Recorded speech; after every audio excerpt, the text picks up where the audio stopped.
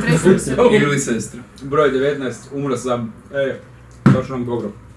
Ovo je, ovo je ljuto, ne znam bio, ma je bio onaj prije tak ljuto, ali ono, ovo me baš šije me dosta dos, dos dugo. Znači, fatalić, šnjak, šećer, sol, voda, jabučni ocet, peršin, kopar, bosiljak, ono, iskreno, ne znam, ta ljutina u početku se ne osjetio, osjeti se okus ovog ostalog, ali ne, nije mi, nije mi izbalansiran okus recimo, ali ova ljutina dere, ono, baš sam pošte, pošteno si nas ono, zdrmo s ovim, ili Zdrmala. zdrmala, da. Da je cetinski ovaj umak, umak, umirao bi više od sto puta. Da, dobro, to je ono, ovo je onak, baš ono, ne znam kaj bi rekao, već sam zaboravio kako fokus ima, htio bi opet probat kurac, ću ga probat opet, ono, nema šanse. Ovo je ubilo, svaka čast, to ono.